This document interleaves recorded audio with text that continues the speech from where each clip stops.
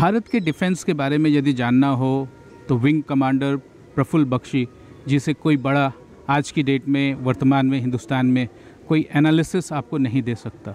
भारत के डिफेंस के बारे में यदि एक इंडिपेंडेंट वॉइस यदि कोई है तो वो हैं विंग कमांडर प्रफुल्ल बख्शी। आइए उनसे बात करते हैं और जानते हैं भारत के डिफेंस डिफेंस स्ट्रैटेजी, डिफेंस के बारे में बहुत सारी बातें हैं डिस्कस करनी है उनसे। सर सबसे पहले हम आपसे ये जानना चाहेंगे कि भारत की जो बॉर्डर्स हैं, आज की डेट में कितनी सिक्योर हैं, दस साल पहले और बीस साल पहले के दरमियान? क्योंकि चैलेंजेस अब बदल रही हैं and challenges are different enemies may be neighbours but enemies are also different and more strategic बिल्कुल आप ठीक कह रहे हैं। कल का दुश्मन आज का दोस्त हो सकता है। और आज का दोस्त कल का दुश्मन हो सकता है। देखिए, आप बिल्कुल ठीक कह रहे हैं कि स्ट्रेटजी और जो करंट होती है किसी कंट्री की, वो एक थ्रेट के ऊपर डिपेंड करती है। पहले क्या था हमारा जो स्ट्रेटजी थी या पहले हमारी पॉलिसीज़ क्या थी डिफेंस की, और अभी क्या है, बड़ा फ़र्क आ गया है। पर सबसे बड़ी बात मैं आपको बता दूँ कि इससे पहले कि मैं ये चैप्टर हम डिस्कस करें सबसे पहले एक बात ये होती है कि जब अपने देश की थ्रेट के ऊपर चिंतन किया गया हो, सोच विचार किया गया हो तो उसके ऊपर डॉक्ट्रिन्स लिखी जाती हैं। बेसिक जो नेशनल पॉलिसी होती है, उसके तहत डॉक्ट्रिन डेवलप होती हैं और डॉक्ट्रिन के तहत various policies down the line जाती हैं, जिसको रूल्स ऑफ़ एंगेजमेंट कहते हैं। भारत की पे ये एक सबसे बड़ी वीकनेस रही है कि 1995 तक जब रैंड कॉरपोरेशन ने एक बड़ा भारी लेख लिखा और इंडियन पार्लियामेंट में कम कभी मच गई कि भारत का 1947 से लेके 1995 तक कोई डॉक्ट्रीन ही नहीं थी defence security, army, navy air force बिना डॉक्ट्रीन के लड़ाई कर रही थी। ये बात पार्लियामेंट में जो है एक धमाके की तरह उठी और जल्दी जल्दी तीनों सर्विसेज़ ने अपनी डॉक्ट्रीन लिखनी शुरू करी। डॉक्ट्रीन्स का मतलब होता है आपकी जो बेसिकली आपका स्टैंड क्या होगा? जब थ्रेट होगी, कौन कैसे लड़ेगा, किस किस तरीके से लड़ेगा, किसके ऊपर रिस्पॉन्सिबिलिटी आएगी, इत्यादि इत्यादि, क्या करना चाहिए, क्या नहीं करना चाहिए, कितनी लिमिट में करना चाहिए, चाहे न्यूक्लियर हो, चाहे कन्वेंशनल की डॉक्ट्रीन हो, ये जल्दी जल्दी में लिखी गई। तो अभी जो हालत ये है डॉक्ट्रिन के हिसाब से अभी भी इंडिया कमज़ोर है, अभी भी, पर पिछले छः सात साल में सालों में ये देखा गया है, जो करंट सरकार आई है, कि इसमें बहुत तीव्र गति से तबा तब्दीलियाँ आ रही हैं। तीव्र गति से सोच हो रहा है। और उसका आप नतीजा और खामियाँ रिज़ल्ट देखते हैं बॉर्डर के ऊपर। जो चाइना बॉर्डर पे जो आज से सन बासठ और उससे पहले जो हालत हुई थी, अड़तालीस हज़ार स्क्वायर किलोमीटर आपने दुश्मन को झोली में उठा के दे दिया और चूँ तक नहीं करी। कि वहाँ तो घास नहीं उगती तो हम क्या करेंगे उसका? ये सोचा और अब कहाँ है? अब वही कंट्री जिसने हमारी अड़तालीस हज़ार स्क्वायर किलोमीटर ली थी, अब वो बाध्य हो गया है कि हम अब कोई नेगोशिएशन करें, कोई सुलहनामा करें। ये इत्यादि जो अभी आपने चाइना को करते देखा है और जो पाकिस्तान इस समय कर रहा है, क्योंकि पाकिस्तान और चाइना मिले हुए हैं। पर ये टेम्परेरी हो सकता है। कोई परमानेंट दोस्त नहीं होता, कोई परमानेंट दुश्मन नहीं होता। तो इस समय भारत की जो तैयारियाँ हैं, इसके हिसाब से जो सन बासठ के बाद चाइना के खिलाफ अगर मैं आपको उदाहरण देता हूँ सन बासठ में हमारी कोई तैयारी नहीं थी। वो हुआ, हालत हुई जो आपको पता है। और उसकी डॉक्ट्रिन के तहत मैं आपको थोड़ा सा अभी अलग जाके समझा देता हूँ। भारत की हार इसलिए हुई कि भारत को एयरफोर्स का इस्तेमाल करना नहीं आता था। एयरफोर्स का इस्तेमाल करना क्यों नहीं आता था? क्योंकि ये डॉक्ट्रिन में कभी क्लियर नहीं था रूल्स ऑफ़ एंगेजमेंट की किस मौके पे एयरफोर्स को लगाया जाएगा? किसी ने कान भर दिए प्राइम मिनिस्टर के कि अगर आपने चाइना चाइना के और बम्बा एयरफोर्स लगाई तो अलाहाबाद, कैलकटा, बॉम्बे, मद्रास, दिल्ली, लखनऊ, हर जगह बॉम्ब डाल देंगे। उन्होंने बैकआउट कर दिया और एयरफोर्स को कहा, आप खाली कर दो नॉर्थ ईस्ट। छः फाइटर स्क्वाड्रंस को पंजाब और दिल्ली भेज दिया। आपकी आर्मी आर्मी जो एयर सपोर्ट मांगती रह गई और उसकी हार हो गई। पता ये चला कि चाइना के पास सिर्फ़ चार जहाज़ थे, जिनकी रेंज भी नहीं थी तेज़पुर के आगे, और उनमें फ्यूल प्रॉब्लम थी। कोई एयरफोर्स नाम की चीज़ नहीं थी जिसकी जो आके चाइना कर सकता जो थी, वो टैक्टिकल एयरफोर्स थी जो डेढ़ सौ, दो सौ किलोमीटर तक जाती थी, वही थी उनके पास। क्वेश्चन ये है कि ये तब होता है कि हमारे डॉक्ट्रिन नहीं लिखी होती, चिंतन नहीं किया होता पॉलिसी नहीं लिखी होती। तो ये जो चीज़ थी, उसके हिसाब से 62 के बाद देखा गया कि किसी ने, हमने कोई तैयारी नहीं करी। खाली वीरान मैदान पड़े हुए हैं जहाँ चाइना ने रोड, रेलवे लाइन बना दी ordnance depots missile depots airfield बना दी। सात हज़ार तीन हज़ार आठ सौ किलोमीटर ले से लेकर अरुणाचल तक उनके छः एयरफील्ड हैं। वेरियस ऑर्डिनेंस डिपोज हैं रेलवे यार्ड्स हैं एमुनिशन डिपोज हैं मिसाइल बेसिस हैं। आपको इस समय आपके सोल्जर को फिर भी पैदल जाना पड़ता है, खच्चरों पे और पहुँचना पड़ता है। पर उसमें छः साल में बड़ी तब्दीली आने लगी है। ये मैं खुशखबरी आपको इसलिए दे रहा हूँ कि ये चौंकाने वाली बात है। और चाइना इससे घबरा के चाइना ने ऑफेंसिव एक्शन लेने की बात करी और चाइना को मुँह की खानी पड़ी, जो उनतीस अगस्त और 30 अगस्त की रात को 220 में जो हमने हाइट्स ली सात हाइट्स और कैलाश हाइट्स जो ली, उसके तहत चाइना को ये बाध्य होना पड़ा। तो अब आप तैयारी की बात कर रहे हैं, अब हमने तैयारी शुरू कर दी है। पर ये मत कहिए कि हमारी तैयार थे और तैयार हैं। तैयारी शुरू कर दी है और हमको अभी भी छः या सात साल और लगेंगे प्रॉपरली टू फ्रंट वॉर का सामना करने के लिए, प्रॉपरली। सेक्टर वाइज हम कर सकते हैं। मॉडर्नाइजेशन एक लॉन्ग टर्म प्रोसेस है कैपिटल इन्वेस्टमेंट है और यकीनन बहुत ज़रूरी है। आप एक बात हमेशा कहते हैं if you are strong in defence your politics will be strong and your economy will be stronger Now that has been slowly being incorporated. That's right. You are very right. It has slowly started. The finally the the python has started moving. अब अब इसके उसका power की अब बात को पता नहीं चलेगी क्योंकि इंडिजनाइजेशन प्रोग्राम के कारण ही हमारी हालत थी कि आप कोई भी ना टैंक, ना गन्स ना एयरक्राफ्ट ना एयरक्राफ्ट इंजन ना टैंक इंजन आप, आपके main artillery shells main artillery guns कुछ नहीं बनाते थे। तो फिर सब खरीदते थे।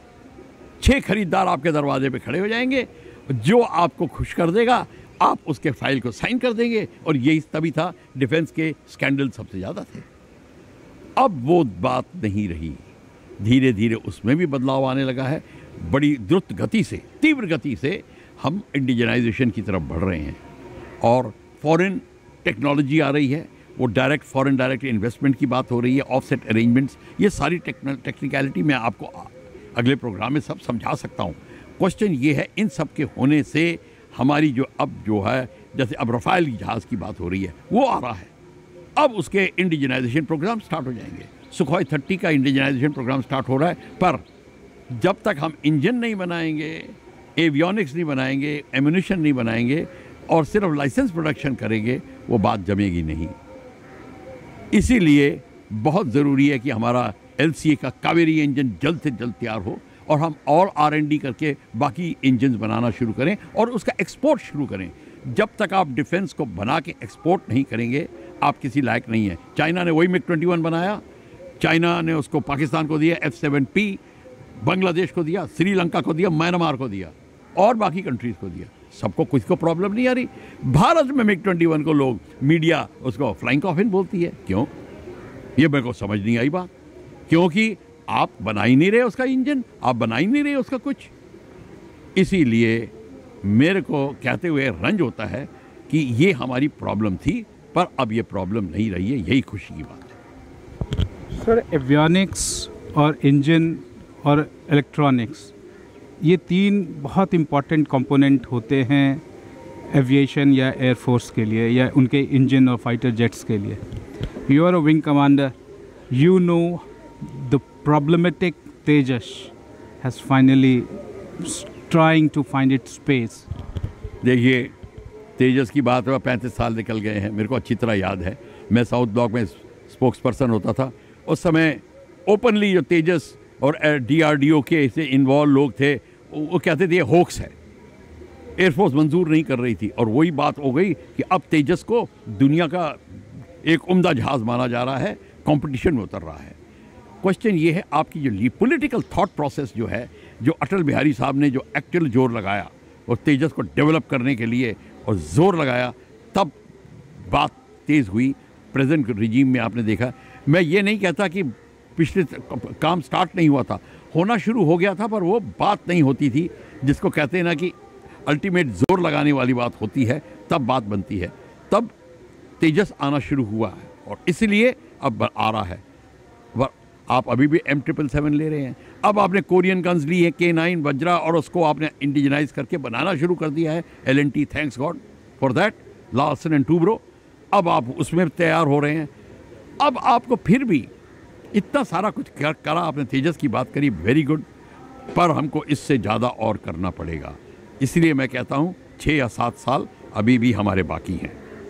तेजस का नेक्स्ट वर्जन अभी मैक वन मैक वन से थोड़ा आगे मैक टू तक हम पहुँचने की कोशिश कर रहे हैं। Mark two no doubt is as good और better than what we were and if it is indigenous then surely the manoeuvrability will always help us देखिए, ऐसा है, ये मैक की जो बात कर रहे हैं। एक H F twenty four aircraft होता था, जिसको मैंने फ्लाई किया है। वो जर्मन डिज़ाइनर ने बनाया था। It was clear for Mach two point six पर इंजन नहीं था। वो airframe was tested for two point six Mach can you beat it speed की बात नहीं होती। उसमें होता है एवियोनिक्स क्या लगे हैं वेपन डिलीवरी सिस्टम क्या लगा है। वेपन टारगेट एक्विजिशन सिस्टम क्या लगे हैं? रडार कौन सा है? मैक 1.5 और 1.8 हो इतना फ़र्क नहीं पड़ता क्योंकि टैक्टिकल स्पीड से सबकी एक सी हो जाती हैं। वो run away speed get away speed तो मैं मानता हूँ। एफ़ वन फोर था सबसे फास्ट एयरक्राफ्ट होता था। और डेल्टा डाट डेल्टा डेगर जो होते थे वो बड़े सब मैक 2.2 2.3 पे जाते थे। पर उनका कोई फ़ायदा नहीं हुआ। ये बेसिकली होता है आपका अंदर मुद्दा क्या है? आ, क्या क्या चीज़ लगाई हुई है आपने? आपने आपने बिल्कुल you have hit the nail Rafale में भी यही बात हो रही थी। जब पिछली सरकार ने रफ़ाइल को लिया लेने की बात करी अब भी जब रफ़ाइल आना शुरू हुआ तब तक यही बात हो रही थी। अंदर क्या मामला है? किस रेट पे लिया गया? 500 करोड़ के रेट पे लिया गया। अब क्यों 1300 करोड़ हो गया? ये शायद आप आपके इन इन इन पिन पॉइंट इनपुट से शायद वो बात एक बार हम, और हमेशा के लिए ये बातें बंद हो जाएँगी, क्योंकि you are a veteran of air force देखिए, ऐसा आप कह रहे ठीक है। एक ढांचा और एक और होता है। उसके जो कॉकपिट रेडार उसका जो, वो उसके ही one third the price aircraft उसमें आ जाती है। आप उसमें लगा रहे हैं वेपन टारगेट डिलीवरी सिस्टम क्या लगा रहे हैं? ये जो आपकी जो स्काइप मिसाइल्स वगैरह, ये जो लगाई हैं, जिसपे आपने बालाकोट पे स्पाइस जेट स्पाइस बॉम्ब से अटैक किया है उसकी डिलीवरी सिस्टम, उसका target acquisition system, main price तो उसमें चली जाती है। इंजन इंजन के वेरिएंट्स आप वो एयरफ्रेम का मॉडिफिकेशन आर डी ये सारी चीज़ें होती हैं जो दाम आगे कर देती हैं। एलसीए में अब तेजस में अगले ट्विन इंजन तेजस की बात आएगी। ट्विन इंजन तेजस बिल्कुल ही अलग जहाज़ होगा। वो और न्यू जिसको कहते हैं जनरेशन एयरक्राफ्ट आ जाएगा। मतलब ये है कि एक हमारी जो एफर्ट में चार चाँद लग जाएँगे। सर दो सवाल इंपॉर्टेंट है यहाँ पे। पहला सवाल ये कि are you convince with avionic engineering in India one and second may not like the political bickering that is going on as a defense person per se, but do you think that opposition party at this present time is at least not being very conducive to the positivity of defense forces? देखिए ऐसा है you are very right. I am in no position to, you know, and I would not like to, you know, uh, comment upon any political body, any political party. But what I would like to tell you that until and unless you understand the defense aspect and defense equipment, you should not make any statement. defense is not a rozgar yojana. Defense is not uh, you know a daily koi welfare society that you can talk about it. This is not a, women's liberation and human rights situation. No this is national security. Only the right people must talk about it. And you blink the eye you are dead. Uh, exactly because not only you are dead your nation's security uh, sovereignty is at stake. What is more important? That is why जो आप political parties की बात कर रहे हो, जब वो statement बनाती हैं क्रिटिसाइज़ करती हैं, दिल को बहुत दुख होता है। हमारी फ़ौज को दुख होता है कि ये क्या बात कर रहे हैं। अब आप बालाकोट की स्ट्राइक को दे लो। लोग वही बंदे बैठे हुए हैं यहीं पे, हर जगह। जी प्रूफ लाइए आपके जहाज़ गए थे। Can you beat it asking did twelve Mirages go जब पाकिस्तान और कौए मारे होंगे, लकड़ियाँ तोड़ियाँ, पेड़ तोड़े हुए होंगे। पर जब पाकिस्तानियों ने घुटने टेक के हाथ जोड़ के कह दिया हाँ हमारे स्ट्राइक हुई है तीन सौ बंदे मारे गए इनके मुँह बंद हो गए मुँह दिखाने लायक नहीं रहे। अमित लेकिन वो वो लेकिन वो एक साल और उससे भी ज़्यादा पीरियड जो वैक्यूम था जो वैक्यूम क्रिएट किया गया वो शायद आपको भी बहुत दुख देता होगा। अरे दुख ही नहीं देता था हमें हँसी आती थी कि ये बंदे हैं। हमारे जो सीआरपीएफ के इतने जवान मारे गए। फोर्टी था और हमारे जवान मारे गए। हमने उसके बाद हमने स्ट्राइक करी वो जवान को मारे गए जानो कहते हैं कि घर का मामला था इंटरनल अरेंजमेंट थी, इसलिए आप अपने बच्चों को मार दिया। और फिर फिर कहते हैं, आप तो आपके पायलट्स तो गए नहीं तो सो रहे थे। पता नहीं, पाकिस्तान ने तो नहीं बोला। मतलब ये है कि जब तक उनका पाकिस्तानी उनको तोहफा लेके ना आए, उनको गोदी में बैठा के बताए ना कि हाँ ये हुआ, तब तक हमारे लोग मानते नहीं हैं। बात सारी ये है, जब नेशनल प्राइड ख़त्म हो जाती है और जब आपका सेल्फ इस्टीम आदमी की ख़त्म हो जाती है, तब वो ऐसी बातें करते हैं। हमारे भारत में इसका बड़ा अभाव है। सेल्फ एस्टीम में नहीं है। हम दुश्मन की बात, औरों को खुश करने के लिए बात बड़ा जल्दी कर देते हैं। तभी हमारे लोग इतनी जल्दी गुलाम बन गए, इतनी जल्दी घुटने टेक गए। किस लिए? क्योंकि आपको, आप में सेल्फ एस्टीम नहीं थी, जिसको कहते हैं ना, राष्ट्रीय गौरव, और वो नहीं था। आपको फीलिंग नहीं थी, और इसीलिए तभी कहते हैं, लीडरशिप जब तक इसको नहीं उकसाएगी, तब तक कुछ नहीं कर पाएगी। सर, भारत का एक सुनहरा भविष्य फाइव ट्रिलियन डॉलर इकोनॉमी की ओर बढ़ने का है। लेकिन उसके पीछे यदि हमारा डिफेंस मज़बूत नहीं है तो फाइव ट्रिलियन डॉलर इकोनॉमी हम पहुँच भी नहीं पाएँगे। आपने एक एक छोटी सी बात भी कही कि डिफेंस एक्सपोर्ट जब तक आप नहीं बिगिन करेंगे और हाई वोल्टेज प्रोडक्ट पे जब तक आप नहीं करेंगे, तब तक आपको, एक तो इकोनॉमी आपकी नहीं बढ़ेगी और आपकी एवियनिक्स और आपकी जो डिफेंस की जो इक्विपमेंट्स हैं उसका ट्रायल एंड रन और उसका एफिकेसी और उसका एफिशिएंसी आप नहीं माप पाएँगे और वर्ल्ड स्टेज पे जब तक नहीं मापेंगे, तब तक आप उस लेवल तक नहीं कहला पाएँगे। चाहे आप अपने आप को कितना आईटी सुपर पावर कहें, कितना आईटी फाइनेंशियल कैपिटल बनने की कोशिश करें। देखिए, आप बिल्कुल ठीक कह रहे हैं। मैं आपको ये इक्वेशन समझा दूँ। जब आप डिफेंस में तगड़े हैं मतलब उसका मतलब आपकी फौज तगड़ी है, आप चार घंटे के अंदर मोबिलाइज कर सकते हैं और किसी भी जगह पहुँच सकते हैं। आपके एयरक्राफ्ट एकदम से पाँच मिनट के वार्निंग पे टारगेट ध्वस्त कर सकते हैं। और आप, फिर आप जो पॉलिसी होती है, आपकी वो फॉरेन पॉलिसी तगड़ी होती है। अमेरिका की क्यों तगड़ी है? चाइना की फॉरेन पॉलिसी क्यों तगड़ी हो रही है? क्योंकि उसकी शक- शक्ति है, उसकी डिफेंस तगड़ी है। आपका डिफेंस नहीं है, आप अपनी फॉरेन पॉलिसी को लपेट के अपने बैग में रख लीजिए। कुछ नहीं होगा। आप खुश करने में लगेंगे, रहेंगे। ऐसी वो चिकनी चुपड़ी जो बातें होती है ना, ठाकुर सोहाती जिसको आप हिंदी में बोलते हैं, अब वो करने लगेंगे। Until and unless your defence is strong foreign policy will not be be and until and unless your foreign policy is not not you can not affect others एक बार आपका आधिपत्य और प्रभाव भार पड़ने लगता है, फिर आपकी तिजारत बढ़ती है। आपकी कमर्शियल एक्टिविटीज़ बढ़ती हैं। तभी चाइना इस पोजीशन में था कि, कि पूरे लिटोरल कंट्रीज़ का सांस रोक के रखी हुई थी उसने। वो तो अब क्वाड वगैरह बन गया भारत आ गया अमेरिका बीच में आ गया तब बात अलग हो गई है। पर अभी तक तो ये हो रहा था। इसीलिए और डिफेंस तगड़ा करने के लिए आपको होम इंडस्ट्री तगड़ी होनी चाहिए। जब होम इंडस्ट्री तगड़ी होती है तो डिफेंस इंडस्ट्री तगड़ी होती है, डिफेंस इंडस्ट्री तगड़ी होती है तो आपकी डिफेंस स्टैंडिंग तगड़ी होती है, डिफेंस स्टैंडिंग तगड़ी होती है तो फॉरेन पॉलिसी तगड़ी होती है।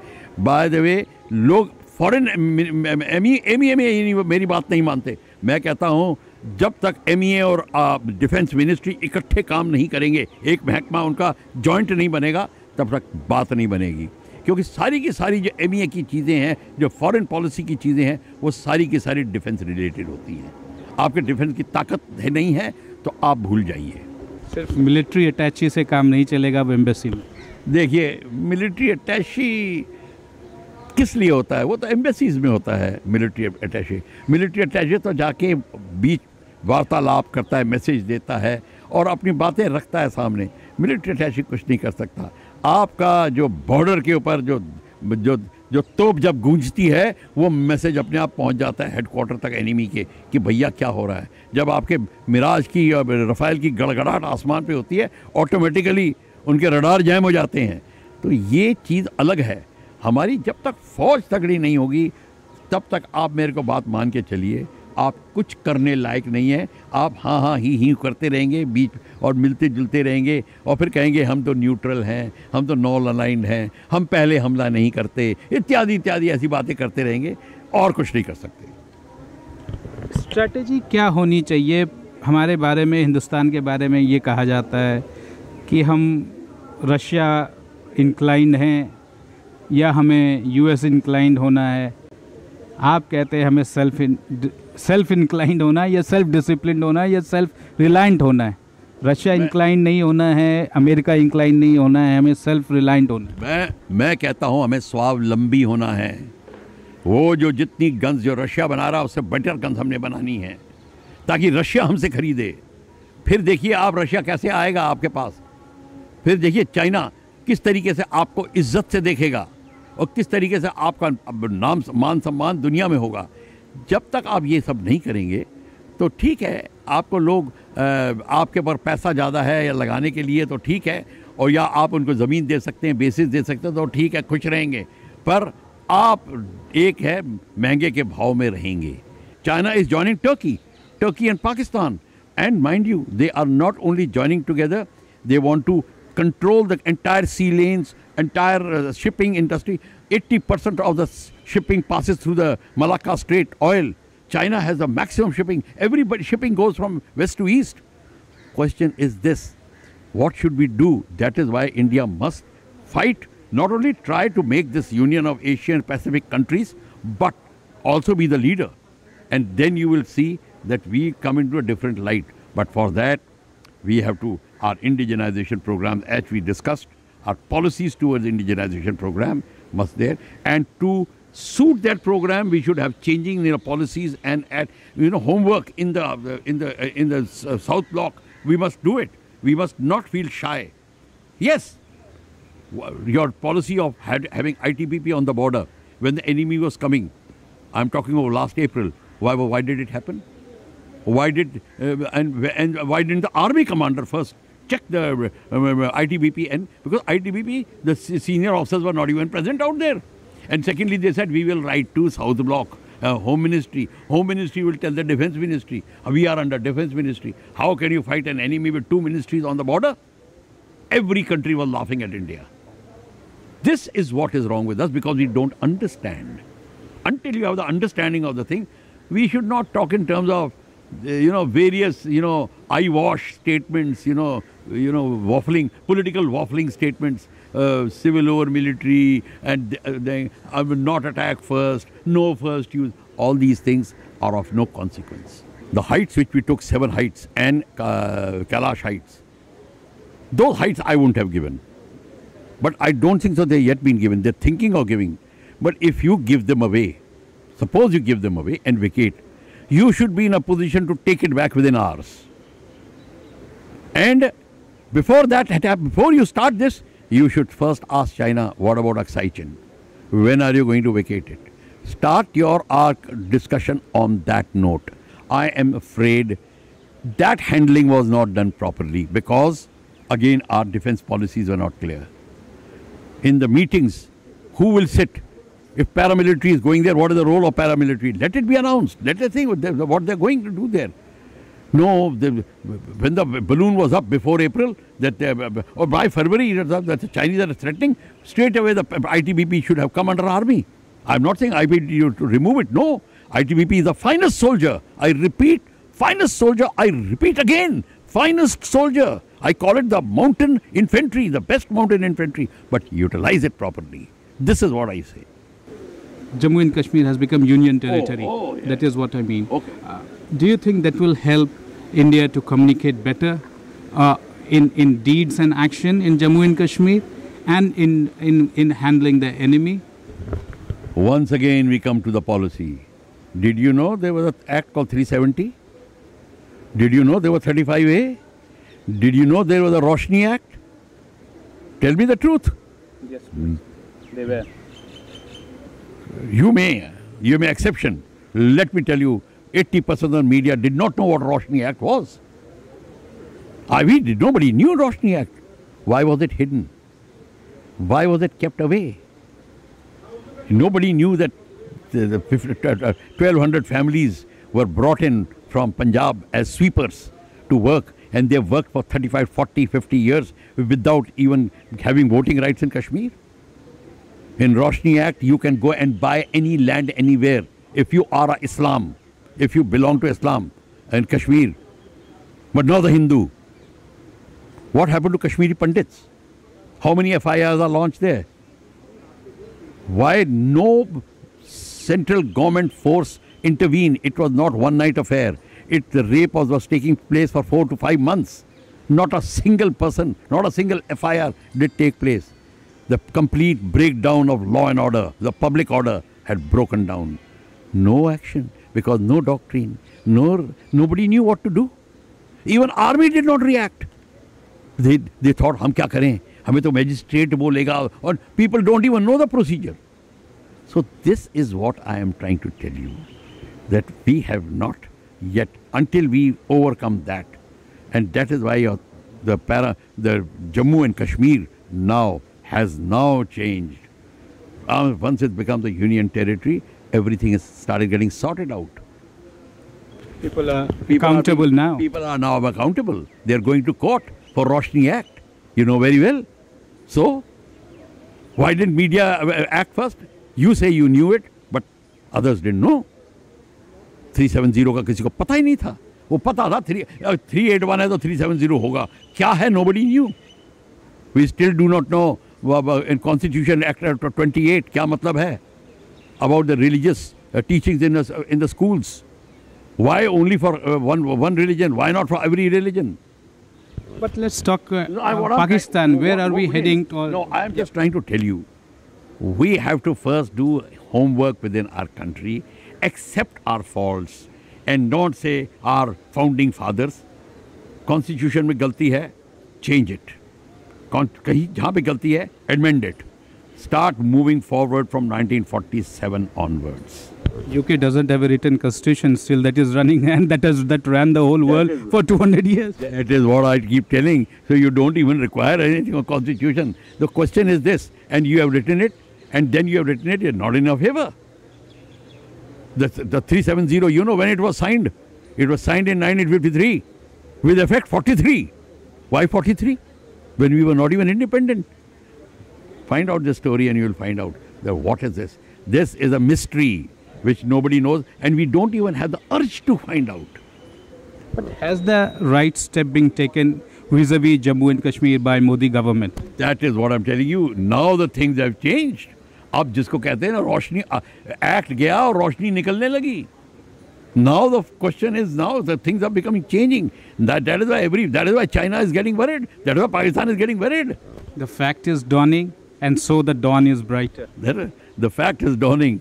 And the dawn is a fact now. So absolutely. Now you are going to be on the ball. That is what it is.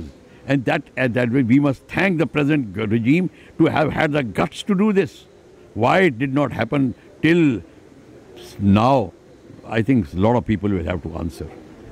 POK and Oxide China is now a talking point, will become more crystallized, and the government will I- have more effective mechanism to tackle that. I have heard the leadership saying that until we take the POK, the matter will not end. So earlier we take the POK, all your terrorism, etc., will come to a halt. Everything will come to a halt. This is what you do. Only China will be too worried because China has occupied that area and now their CPECs out there, close to 90 billion dollars have been uh, put into the game. So that is the problem they have. One final question, sir. Where do you see the Indian defense now in the present situation when we have reached more reached Southeast Asia? We are talking in terms with Middle East countries. Earlier we used to talk via the media. Now we talk directly to UAE, Saudi, Qatar, and in Southeast Asia, as you have already elaborately discussed about. Is it that India is looking to be a global player? And for to be a global player, what are the benchmark or the or the important pointers that you would like to uh, uh, stress upon? See, India has to be a global player. You cannot help it. Once the child is growing, he has to be treated as an adult. India has now become, it is getting the power. but we must know, learn how to utilize our power. Right policies, right foreign policy, right internal security and, and external security doctrines should be right. Using our machinery rightly, even the cricket player must play his uh, equipment, his ball, his bat in a right manner. Hockey, everybody, the boxer's stance has to be correct. These are all things which has, has to be improved. Then only we have to realize what mistakes we are do we were doing, and we should be open in admitting our mistakes, and we should have open forums to discuss it and put an end to our problem and start advancing. It is going to be a big uh, exercise in self-education. It is not uh, overnight affair. You put a switch and light again. Nahi. It will not be like this. We have to really work hard at it. All fields. But first thing is national pride has to be invoked. Until I think like an Indian and start challenging and, and not hide behind the sentences.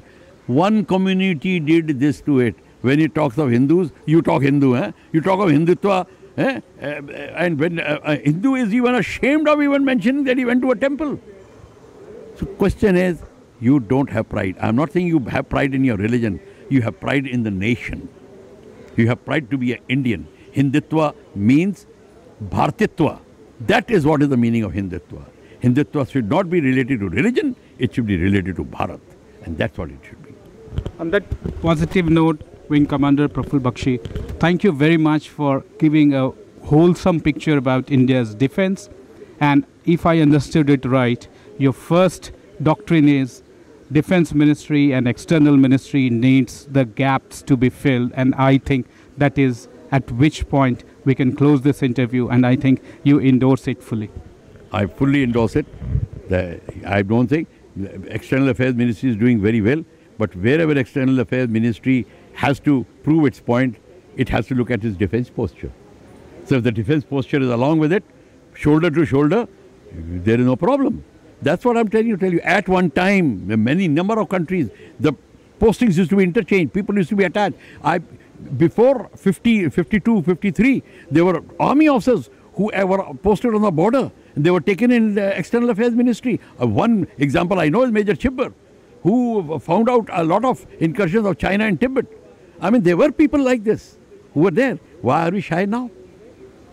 Thank you. Thank you very much once again for your valuable time and wide-ranging insight on wide-ranging subject. And I hope our, our, our, our masters, our people in position will hear this views of yours and trying to incorporate all the good points that you have mentioned. Thank you very much once again. Thank you. Thank you very much.